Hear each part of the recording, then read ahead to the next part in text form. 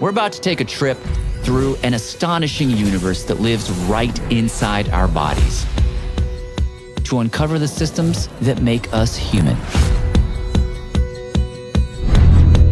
It is billions of cells beating for billions of times in a lifetime, never pausing to rest.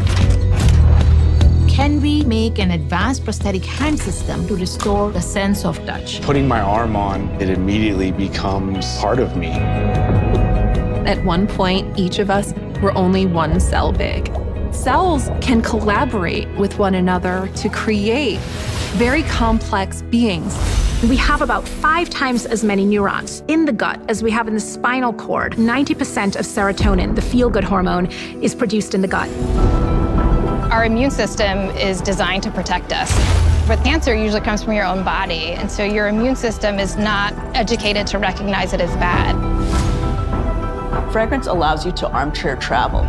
Giving someone that ability to travel momentarily to that place is something so powerful. And we really are an insanely fascinating species. You strip away everything, we literally are the same organisms. And if that doesn't unify people, then I have no idea what's going to.